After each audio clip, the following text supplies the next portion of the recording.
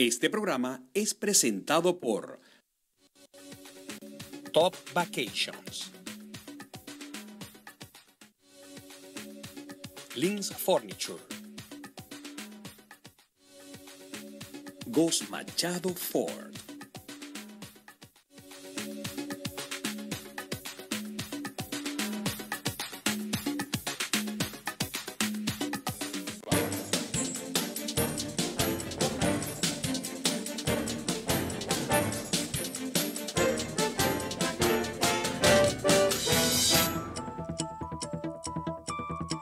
Amigos, sean bienvenidos a este programa Todo Debate. Gracias eh, por la altísima sintonía, por acompañarnos, eh, por igualmente seguirnos a través de, la internet www.elvenezolano.tv, también hacerlo a través de las redes sociales y por la radio en vivo a esta hora a través de Radio Luz 1360 y Radio Vida 1080 AM. Como siempre, un saludo a esta hora a mi colega Belén González. Muchas gracias Nelson y muchas gracias a ustedes porque están una vez más con nosotros en todo debate y porque están dispuestos a compartir esta jornada donde vamos a tocar temas muy interesantes. Hoy en especial estaremos enfocados en dos áreas, lo que está sucediendo en Venezuela y lo que está sucediendo aquí en los Estados Unidos en lo que es la carrera hacia las candidaturas presidenciales demócratas y republicanas. Pero como siempre vamos a iniciar la jornada de este jueves con el resumen informativo de hoy, un extracto de los... Uh, hechos más interesantes hasta esta hora.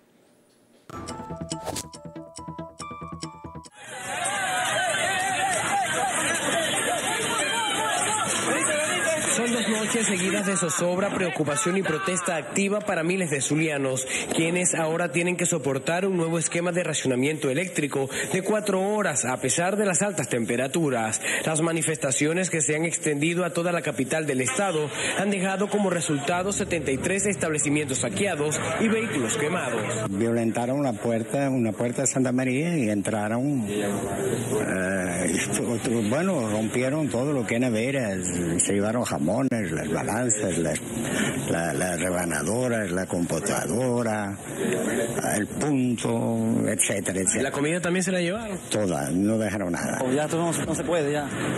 Yo digo que la gente, ya que tiene hambre, nos estamos matando nosotros mismos, estamos matando nosotros mismos, por culpa de ellos. No puede ser esto, no puede ser. Estamos aquí, estamos aquí, no estamos aquí inseguros. Nadie quiere abrir, todo el mundo se quiere ir porque jamás. ¿Cómo van a abrir?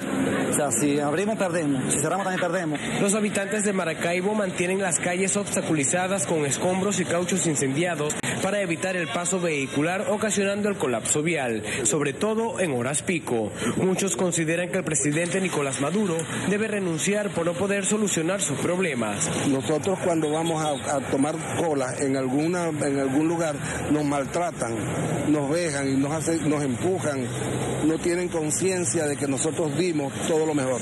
Los medicamentos después de salir son muy escasos, no los consigo, es una tragedia. En- recientemente casi me, me- me tracé casi todo a 5 julio y, y- y Bellavista buscando los medicamentos y apenas pude conseguir uno. Ahorita no hay luz también y yo necesito estar permanentemente refrescándome. Al dentro de un ratico tengo que meterme porque el calor sol no me pueden hacer daño. Hasta este miércoles se contabilizaban unos 25 manifestantes detenidos durante jornadas violentas en zonas como las Torres del Saladillo, Pomona y en la urbanización El Pinar.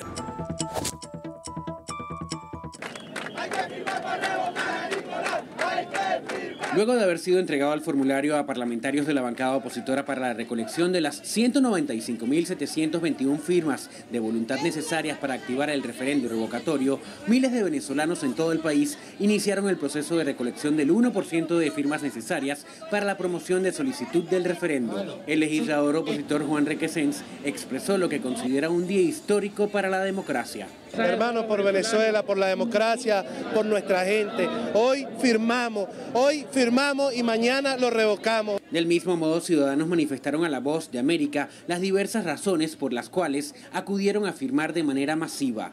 Ya es necesario tomar otro rumbo. Estoy en una, una yo me crié en una Venezuela donde caemos todos, donde no había distingo político. Necesitamos un cambio urgente. La gente está desesperada en la calle y todos estamos agresivos por la situación en que estamos viviendo. No nos merecemos eso. No obstante, el mandatario Nicolás Maduro aseguró que el presidente del Parlamento, al impulsar un cambio de gobierno, juega con la paz del país. Te estás metiendo con el derecho a la convivencia, a la paz del país. De ti no espero nada bueno para el país. Tomaremos nuestras medidas. Por su parte, el legislador oficialista Pedro Carreño comunicó que solicitarán al Tribunal Supremo de Justicia que se declaren nulas las decisiones del Parlamento. La derecha reaccionaria en este momento no quiere mecanismos electorales porque sabe que no tiene los votos.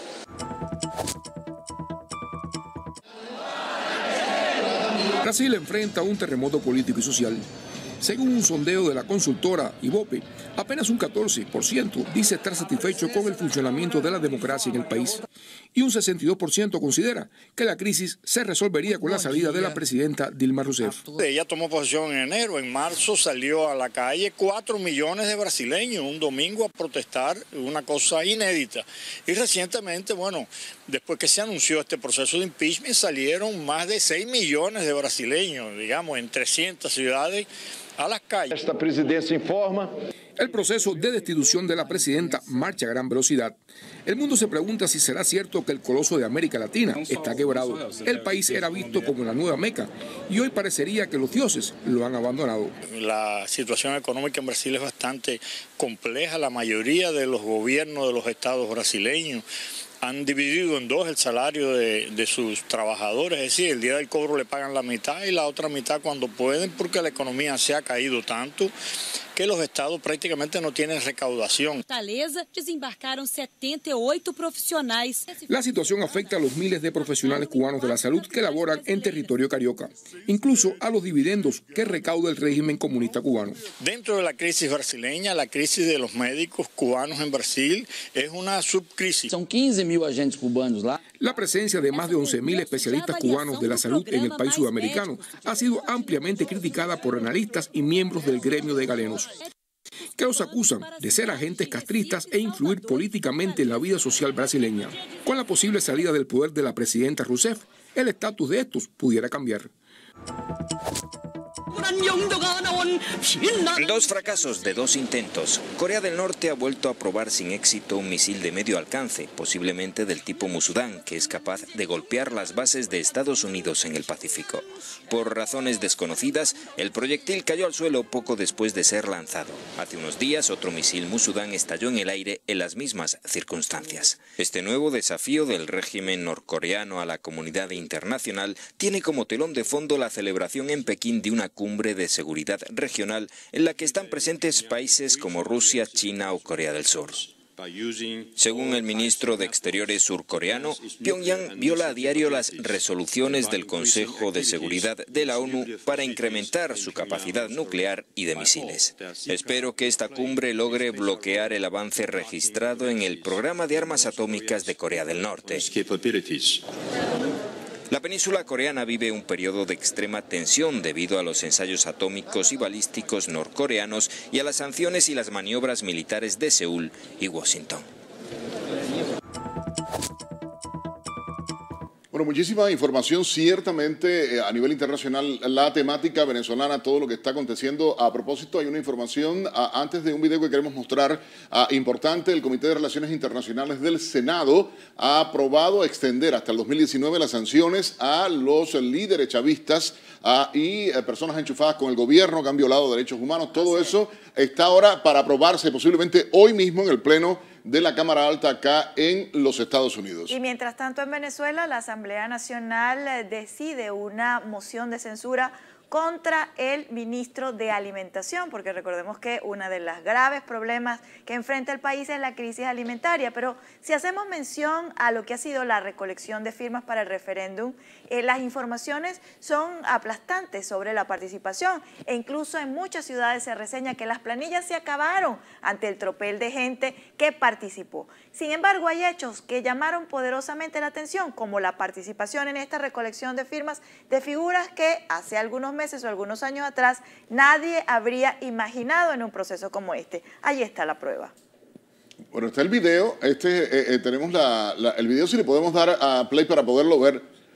Ah, bueno, es muy rápido. El, un militar, un militar rápido, una cosa increíble firmando, pero la euforia que se creó en el pueblo y hablaban de dignidad, ciertamente, y lo compartíamos con nuestros seguidores en las redes sociales, en Belén, porque yo creo que, que habla de la situación que se está viviendo, no solo oficiales de la Guardia Nacional Bolivariana, sino de la policía también participando y firmando. Y funcionarios públicos e incluso gente vinculada directamente al chavismo, al presidente, a la figura del presidente Chávez, con sus franelas rojas y sus tatuajes de Chávez participando en el firmazo, señalando que la situación actual en Venezuela no puede sostenerse, que el cambio es necesario. Bueno, importante igualmente que nos sigan a través de las redes sociales, pero que participen. La pregunta del día de hoy tiene que ver con la decisión del gobierno de Venezuela. Y bueno, ahí está, en medio de la crisis que vive Venezuela, ¿considera usted correcto que los empleados públicos trabajen tan solo 10 horas a la semana? Sí, no, no sé. Su participación, por supuesto, es importante.